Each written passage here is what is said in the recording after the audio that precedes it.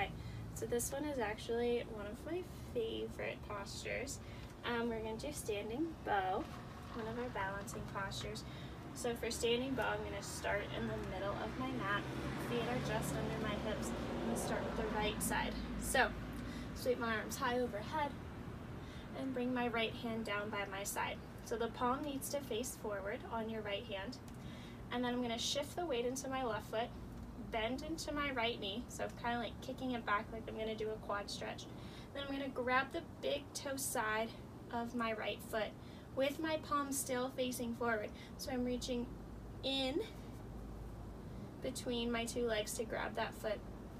So big toe side, I can touch it with my thumb, and I'm gonna stay here for a moment drawing my knees back together, finding my balance. Left arm is extended high. I can stay here for a moment, find my balance, make sure that my body is square towards the front. I'm not opening up to the side. I'm grounding down through all four corners of my left foot, big toe mound, pinky toe mound, both mounds of my heel. And then to get into standing bow, I need to start kicking my right foot into my hand. So if I just start leaning forward, I'm not gonna get much um, distance between my calf and my thigh, and that's really what we wanna focus on at first.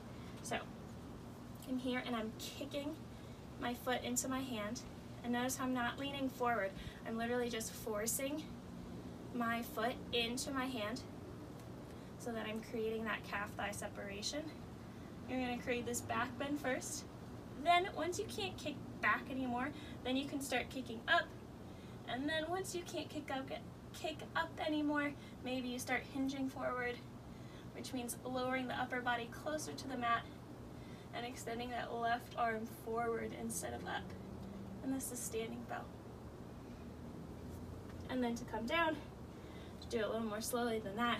So if you're here, just start coming back up until your body's straight, legs back down by your side, and release the foot. And that's standing bow.